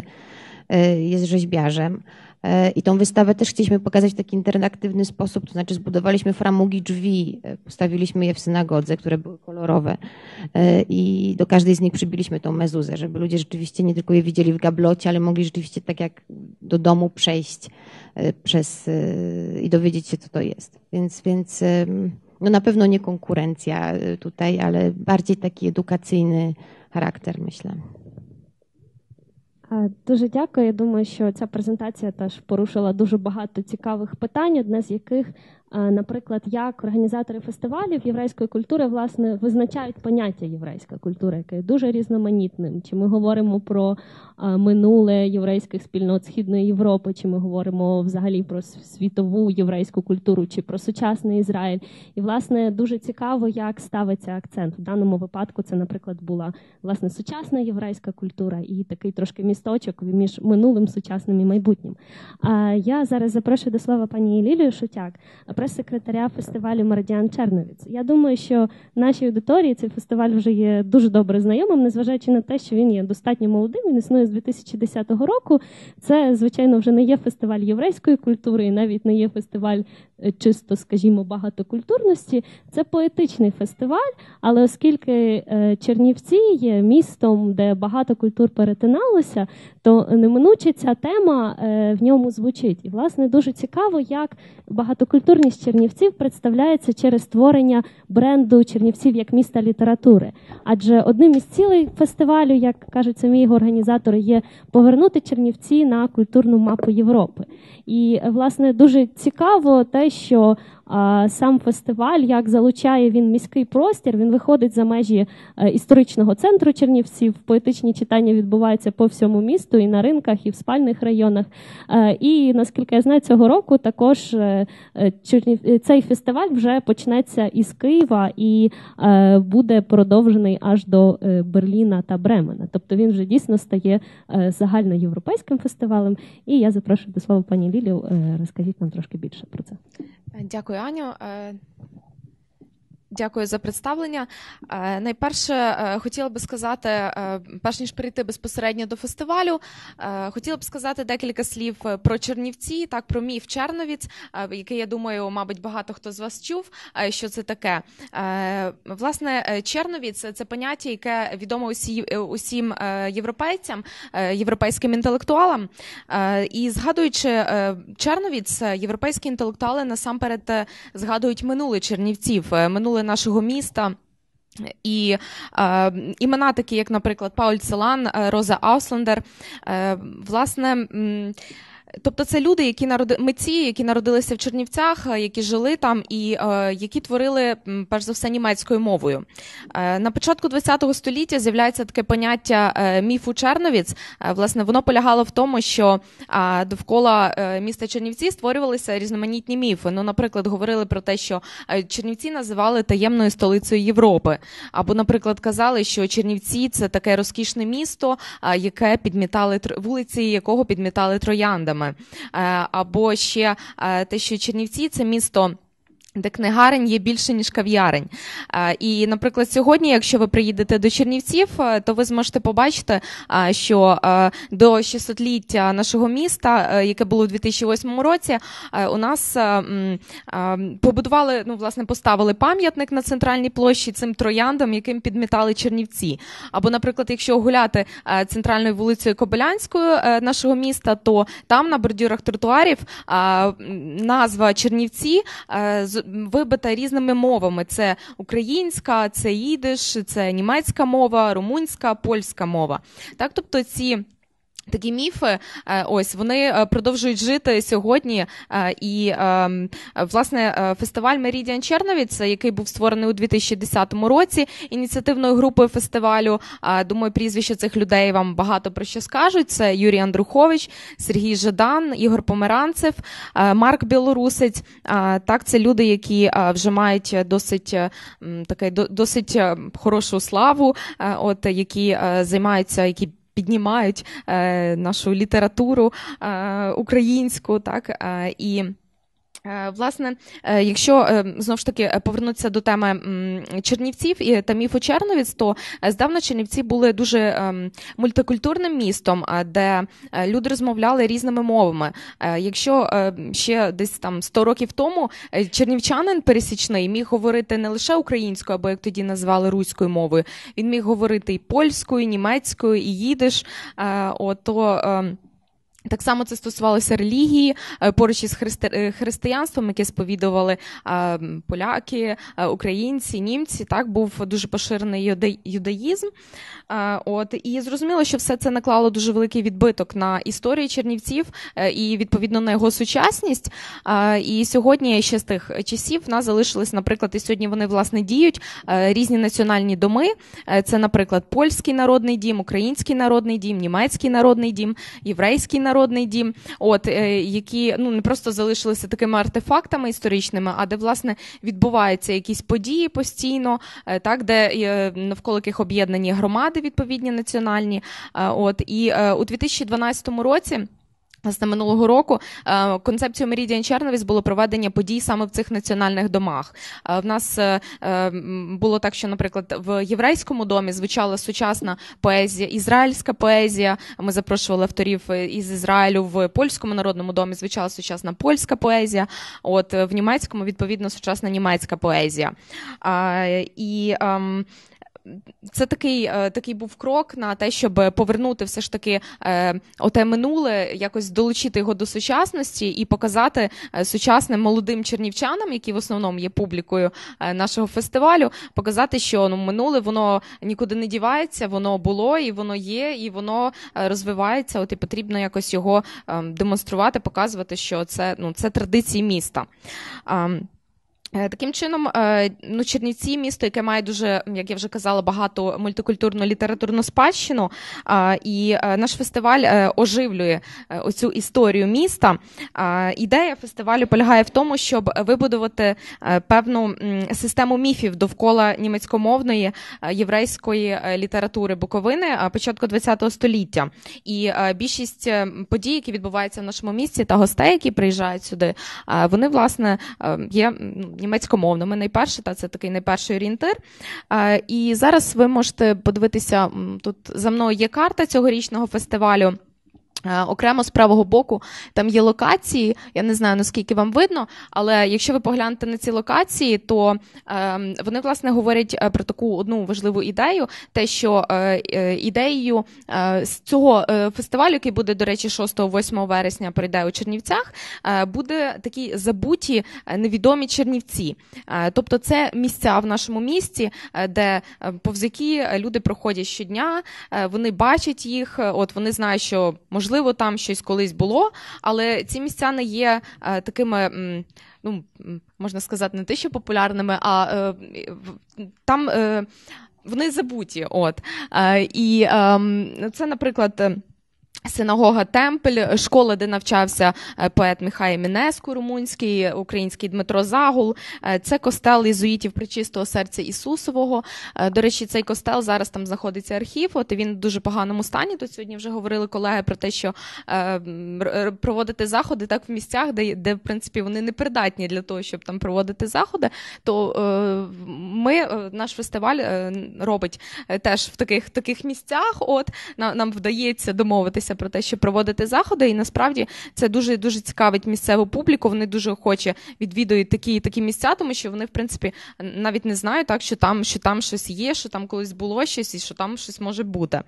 А, Власне, центральним таким центральною локацією цьогорічного фестивалю буде е, єврейський е, народний дім у Чернівцях, який був збудований на початку ХХ століття. Е, І ем, власне, колись він був таким центром національного єврейського життя Чернівців до Другої світової війни. І тут містилися різноманітні єврейські спілки та організації. Сьогодні цей дім має статус місцевої пам'ятки. Е, Хотіла би також е, вам показати деякі фотографії е, цих місць. Тобто, де, де цього року буде відбуватися фестиваль. Ось це, наприклад, школа, де навчався поет Дмитро Загул. Так. Ага, ось це там табличка на цій школі. Тут, якщо ви прочитаєте, не прочитаєте, так, це, е, м, ж- ж- е, це, це місце, так, де. Так, перепрошую. Ах, не встигла. Е, місце, де навчався Міхай Мінеску. Е, Це синагога. Е, Власне, це приміщення є досить унікальним. Е, Навіть ну, для себе я його відкрила вперше. Я думаю, що більшість чернівця, чернівчан так само про нього не знають. Зараз це столярні майстерні. От коли колись це була синагога, і як ви бачите, вона зараз досить такому. Стані так, занедбаному стані. Е, От зараз там ведуться ремонтні роботи, і ми сподіваємося, що до фестивалю е, там ми зможемо власне провести читання, які там заплановані. Ось е, це такі, якщо ви щось трошки бачите, такі фрески, тобто ця синагога реставрується. Ну, цього я не знаю. Е, Це приміщення е, газети. Е, Колись ця газета називалася Радянська Буковина. От зараз вона називається просто Буковина. Ви бачите такий досить ну, гарний, як на мене, так? Це хол газети. От. До речі, в цій газеті колись працював, власне, її заснував Юрій Федькович. Тут також будуть відбуватися поетичні читання. Це знову синагога.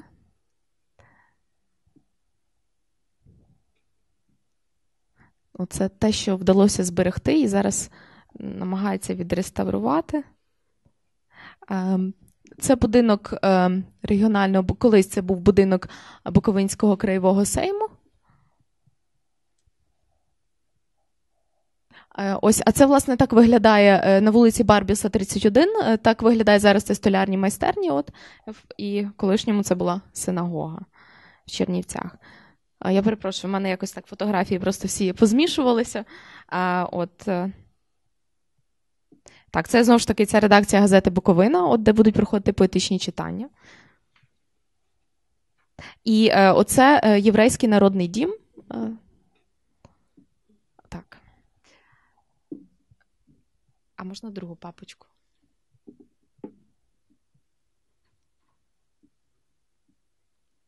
Угу. Е, окремо хотілося би сказати е, про проект, який був е, проведений Meridian Черновіць у 2010 році. Е, це ви бачите перед собою. Так виглядала колись синагога в Чернівцях. На, зараз на її місці кінотеатр Чернівці. От. І в 2010 році, коли відбувся перший фестиваль, ми зробили такий проект, який називався Відеоінсталяція Темпль.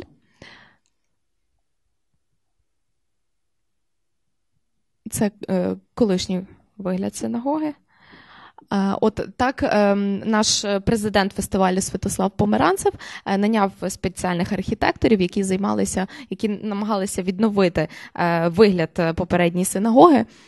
І ем, потім показати таку відеоінсталяцію на сучасний кінотеатр Чернівці, де колись от це сучасний кінотеатр.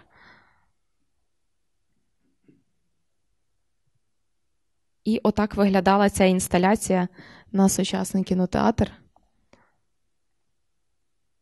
Тут є десь так три фотографії.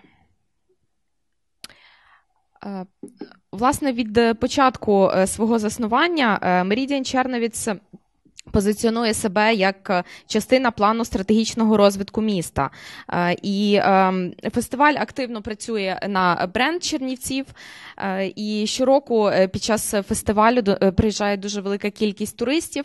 Перш за все, це туристи німецькомовні, так, з Німеччини, Австрії, також з Польщі, з Румунії, з Росії, Сполучених Штатів, Великобританії. Це люди, які щось чули про Черновіць, які, яким це цікаво, і які хочуть побачити, що ж власне відбувається сьогодні із е, оцим міфом Черновіць. Е, І така основна функція десь фестивалю, вона все ж таки є просвітницькою.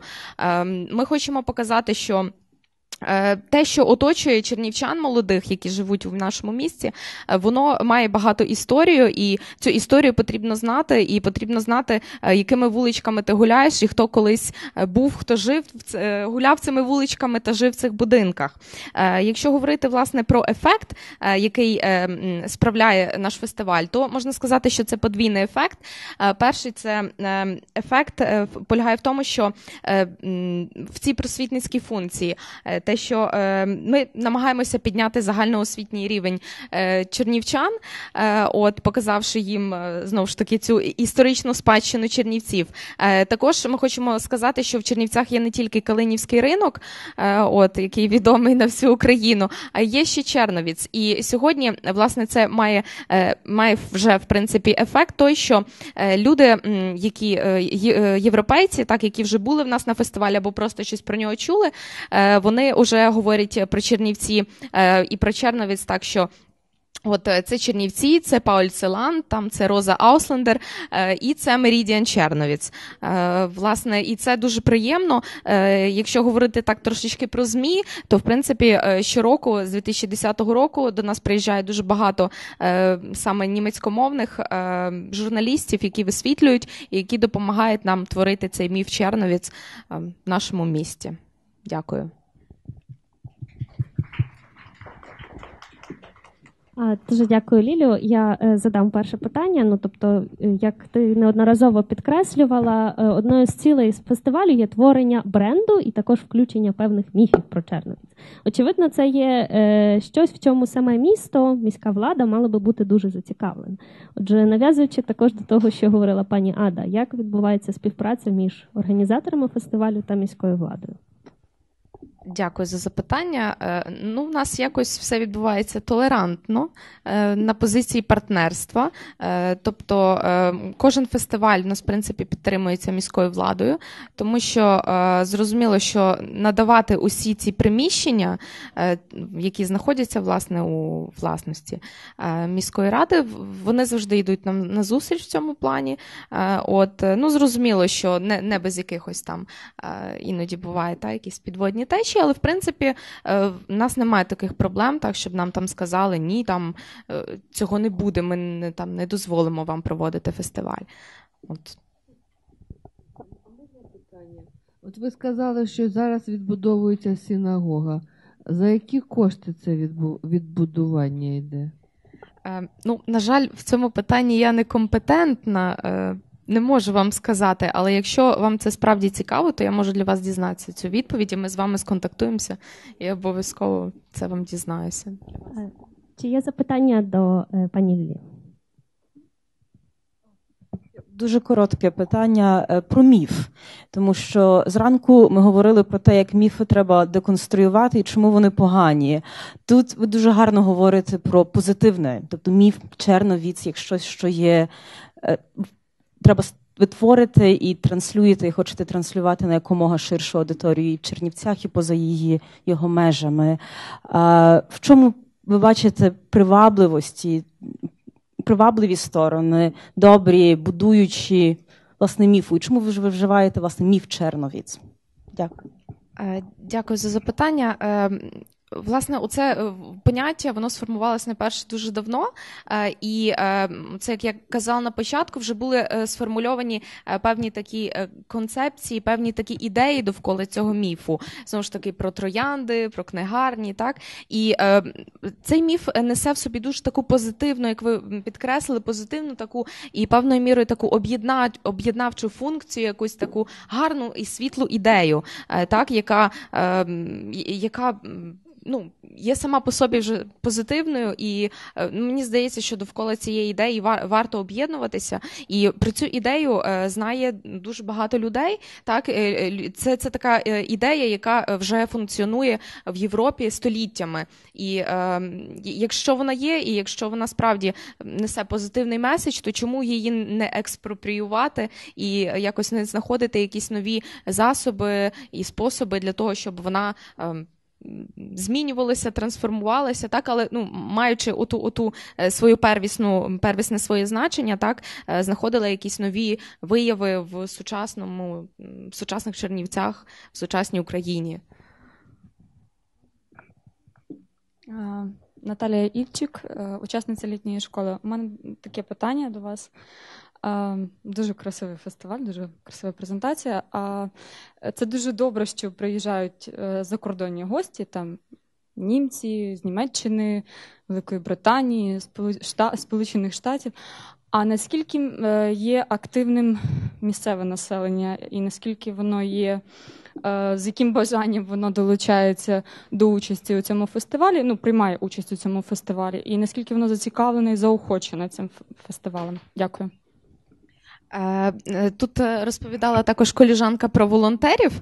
От щороку на фестивалі діє дуже багато волонтерів. В основному це студенти, які навчаються на факультеті іноземних мов. Так, це люди, які володіють однією або двома іноземними мовами, зазвичай англійською, німецькою, які допомагають в організації фестивалю. Якщо говорити про чернівчан, людей, які живуть в місті, як вони реагують на фестиваль, я так розумію, ви це мали на увазі, то ем, від людей іде е, позитивний фідбек, е, тому що е, коли ви виходите в місто е, і бачите, що по місту е, гуляють якісь ну, іноземців, так ми відразу бачимо.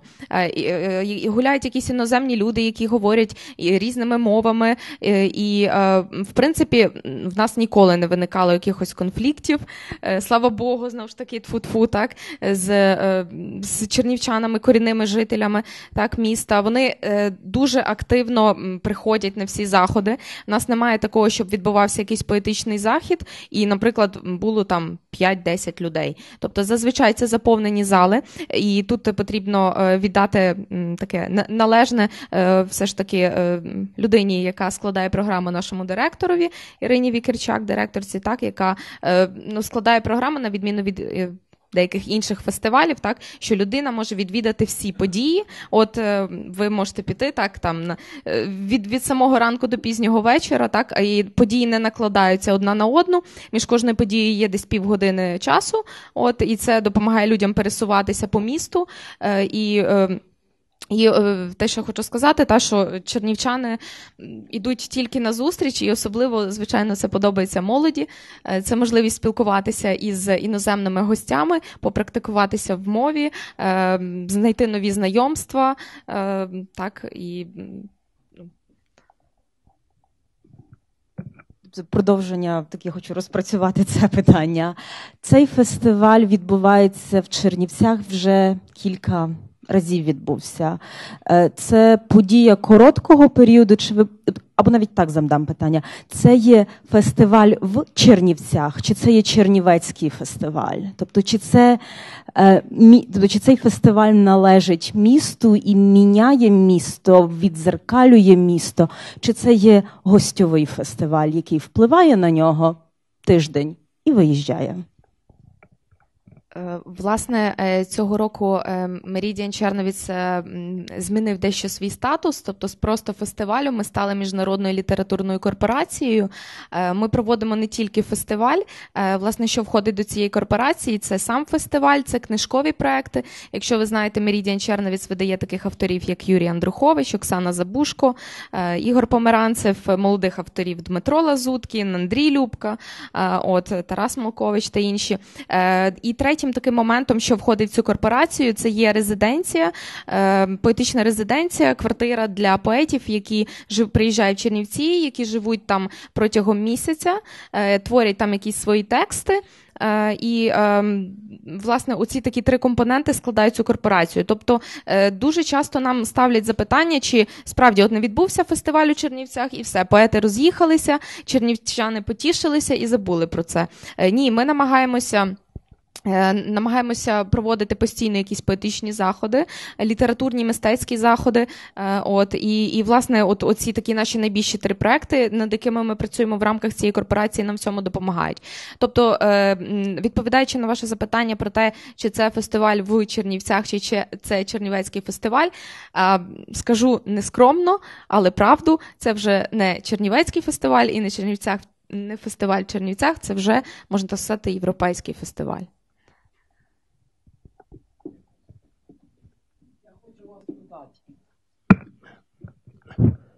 Значить, тут написано, що була школа Емінеску, школа Фітковича. але я не бачу школа єврейська. Значить, у вас жив Целан, у вас жили дуже багато єврейських поетів, письменників. Черновці це було єврейське місце. От. Я не бачу представника з Ізраїля, нема тут. Тільки є місцевий з Англії, з Америці. Я хочу сказати, що шкода, що той місто потеряв ізраїльський, як сказати, е, ну, то, що було колись. Це був центр єврейської культури. Останній письменник, що помер, це був Йосиф Бург. От. Правда, там є пам'ятник, всі деталь, і що таких от, відомих євреїв. Ну це я знаю, що фестиваль поетичний це не є музикальний фестиваль. Це туди ходять тільки ті, що люблять поезію. Ну і всякі такі, як я. Да. Да. Ну, я думаю, що вже слідуючий фестиваль у вас буде теж єврейський. Я бачу, що тільки півтора години у вас був фестиваль в єврейському будинку. Це дуже такий відомий будинок. Ну, там є велика історія. Ну і слава Богу, що ви робите такі фестивалі. Дякую вам е, е, за ваше зауваження, от і за добрі слова. Е, Хотіла би сказати, що насправді цього року у нас буде дуже багато подій в єврейському народному домі. Власне, все закриття фестивалю десь там протягом декількох годин буде проходити там. І е, хотіла би дещо заперечити вам. В нас, в принципі, Кожного року є якісь е, представники із Ізраїлю, які приїжджають виступати ізраїльські поети. Наприклад, минулого року ми презентували е, книжку ізраїльської поезії, вибрану антологію. Е, так, і е, у нас минулого року також проходили дні Йосифа Шміта в Чернівцях. Е, Це, зокрема, в рамках цих днів у нас було два заходи. Перший це аудіовізуальна е, програма Леоніда Флейдермана Повернення Йозефа Шміта, яка відбувалася е, в колишній синагозі Темпель. Сьогодні це кінотеатр Чернівці, фотографії яких я вже вам показувала. А також концерт Авраама Гашкіна, обробки пісень та молитов Йозефа Шміта для труби. І під час цього власне відбувалося слайд-шоу, яке стосувалося життя Йозефа Шміта. От це один із таких заходів, який мені відразу приходить, е, приходить на думку. І ну, я хочу вам сказати, що е, ми намагаємося знову ж таки, е, обираючи локації для проведення фестивалю, дотримуватися перш за все толерантності, е, толерантності не в сенсі ущемлення якихось національностей, які жили в Чернівцях, а толерантності в тому, щоб проводити заходи і як в єврейських, отак як в синагогах, наприклад, так, і в українських, так, і в польських, німецьких народних домах, так, тобто, щоб поєднувати усе це, е, знову ж таки, щоб нам. е, не закидали те, що ми е, когось толеруємо, так, а до когось ставимося нетолерантно. Тому в цій відкритості от, і мультикультурності ми намагаємося якось отак жити. В мене буде питання знову ж таки про ну е, точні питання буде до всіх учасників. Перед тим невеличкий коментар про Чернівці. Дійсно, ну е, багато багатьох українських містах я був. Єдине українське місто, де в вільному продажі в центральних книгарнях є е, путівник Чернівці мультикультурні, і де ну Чернівці, будемо відверті, не є унікальними своєю мультикультурною історією. Це є і у Львові, і в Києві, і в багатьох інших містах. Але воно є унікальним тим, наскільки зараз вона відображена в тому що ми називаємо урбаністичним простором. Ну і ваш фестиваль, я так розумію, що він е, теж сприяє цьому такому е, е, формуванню, як ви кажете, міфу, ну можливо, образу міста і пам'ятанню як в міськими мешканцями, так і самим містом, самим цим міським простором цього мультикультурного минулого. А, а от в мене буде питання до всіх трьох уч, учасників дискусії. Ви говорили про те, що ваші фестивалі вже досягли за кілька років. Ну але зрозуміло, що фестиваль, чи він музикальний, чи він літературний, він цікавий людям е, до того часу, доки от він е, розвивається, якимось чином розширює поле своєї діяльності, змінює свої формати. Які, от, можливо, ви з нами поділитесь і ваші задумки на найближчі кілька років, що вам хотілося зробити, щоб бути більш цікавими, більш е, інтерактивними і так далі? Дякую.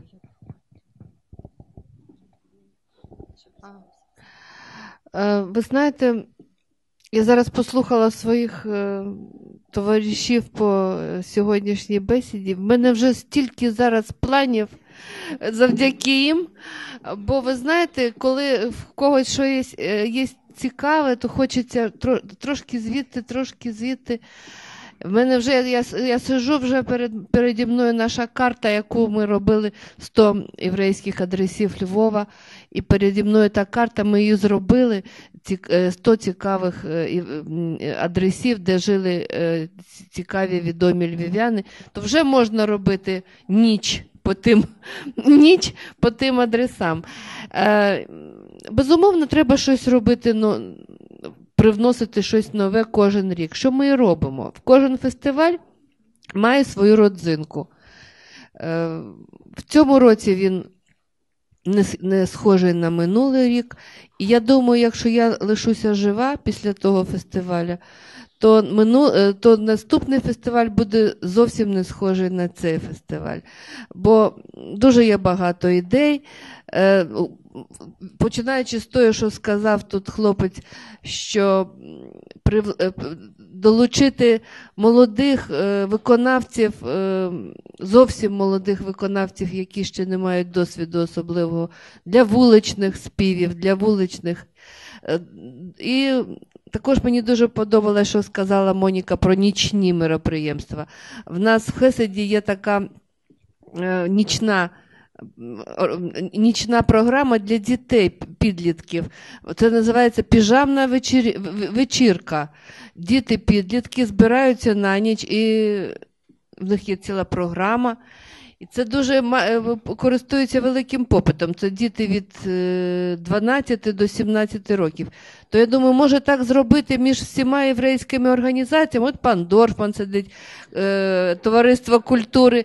Може так е, цілу ніч ходити від пан Мелах, який так е, цікаво живе біля Золотої Рози. І так цілу ніч ходити між різними організаціями, в кожній організації буде якась цікава програма. Також ідея. Тоб- Тобто є про що подумати. Власне, на продовження теми нічних заходів е, скажу, що е, Мерідіан Черновіц е, щороку проводить ніч поезії, так само, де беруть участь як молоді, так і вже більш досвідчені автори. От і цей захід також користується дуже великим захопленням. Його сприймають всі, як чернівчани, так і гості міста. І отут. Пригадуючи запитання е, дівчини е, з останнього ряду, е, я ще скажу щодо того, що ем, Нагадайте, мені бо вже вилетіло з голови. Е, Щодо чернівчан, Е, в нас в принципі є така можливість для е, чернівецьких молодих чернівецьких поетів, які хочуть виступити на фестивалі. От є такі заходи, як вільний мікрофон, коли зазвичай в ньому беруть участь дуже багато чернівчан, перш за все, молодих поетів, ще таких невідомих поетів, які тільки пробуються в свої в своєму ремеслі. Є можливість прийти і виступити. Так, тобто, це теж така одна із своєрідних форм для чернівчан можливостей е, заявити про себе, от на можна так сказати, на такій нехай не на великій, але уже на такій досить серйозній сцені в рамках фестивалю.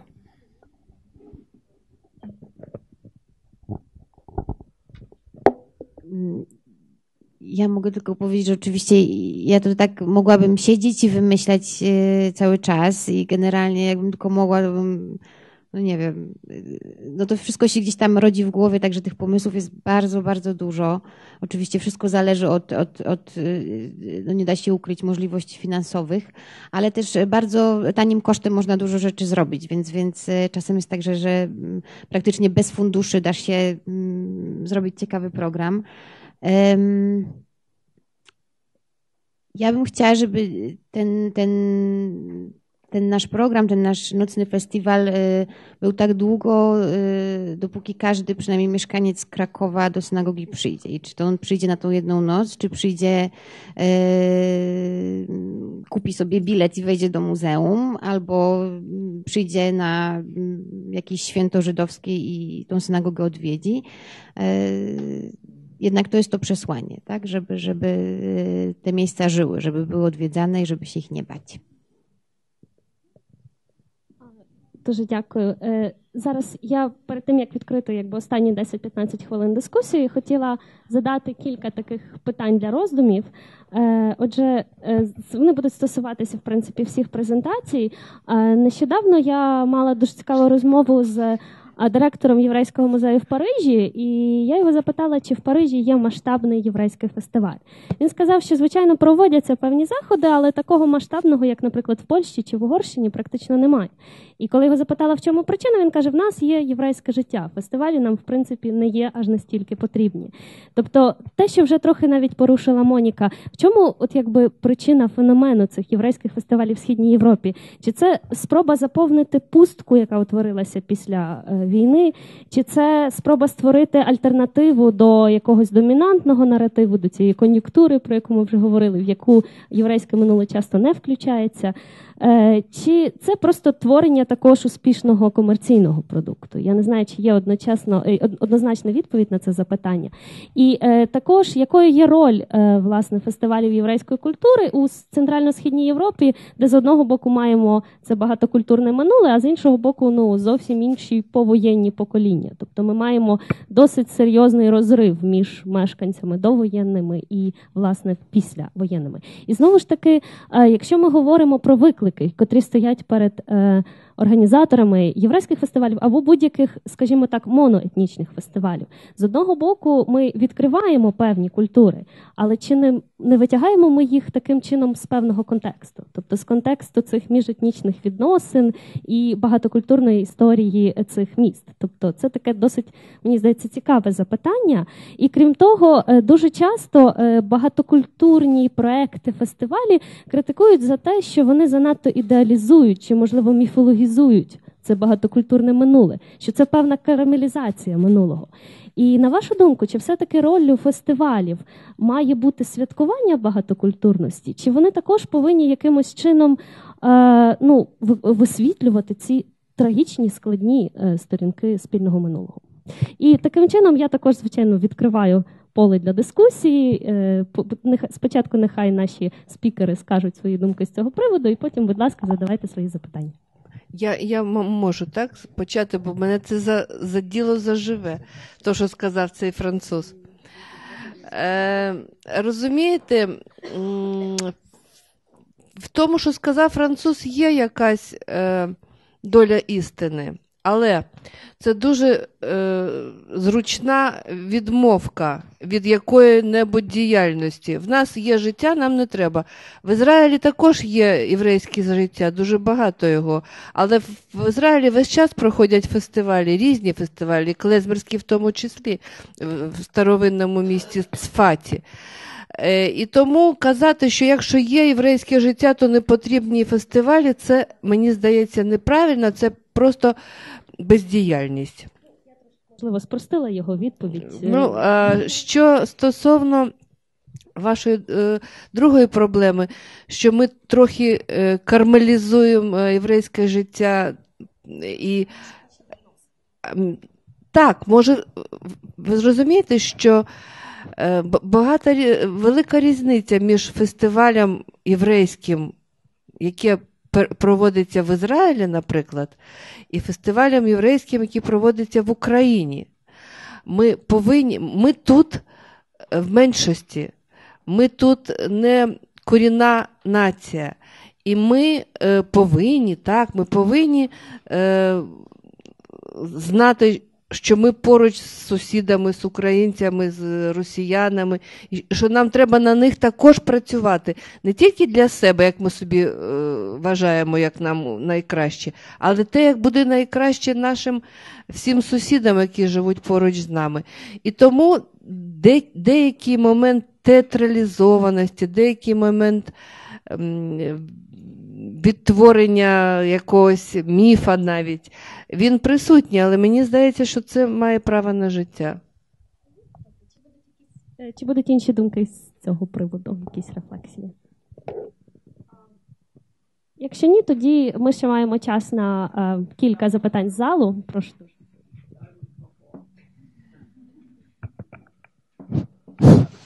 Я хочу сказати, що у нас у Львові більше як 100 тисяч студентів. Львів це є студентське місто. І дуже прикро, що українська молодь, російська молодь до нас дуже рідко приходить. Ми варимося, як кажуть, в своєму соку. Пані Адель робить дуже велику роботу. Це дуже робота, дуже тяжко, щоб зробити такий фестиваль. Той фестиваль, туди приходять більше туристів, ті, що приїжджають в місто.